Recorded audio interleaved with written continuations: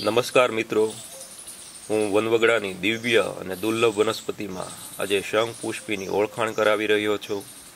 શંખ પુષ્પી બે પ્રકારની હોય છે.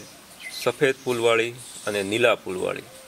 પરંતુ આયુર્વેદમાં સફેદ ફૂલવાળી શંખ પુષ્પીનો વિશેષ ઉપયોગ કરવામાં આવે છે. મિત્રો, શંખ પુષ્પીની ઓળખાણની વાત કરીએ તો તેના ફૂલ શંખની આકૃતિના હોય છે.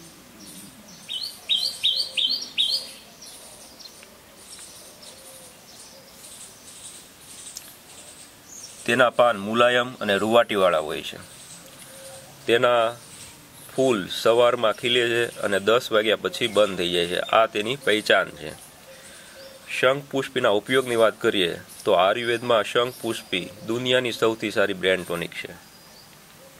અશાંતિ, અનિંદ્રા અને મસ્તિષ્ક સંબંધી તમામ રોગોમાં શંખ પુષ્પીને ઉપયોગમાં લેવામાં આવે છે. બાળકોની યાદશક્તિ વધારવામાં અને તેના મસ્તિષ્કમાં ન્યુરોન્સ વધારવા માટે શંખપુષ્પીનો ઉપયોગ થાય છે. મિત્રો, પૂરા છોડને મૂળ સાથે સૂકવીને તેનો પાવડર બનાવી અડધીથી એક સ્પૂન દૂધ સાથે લેવામાં આવે છે.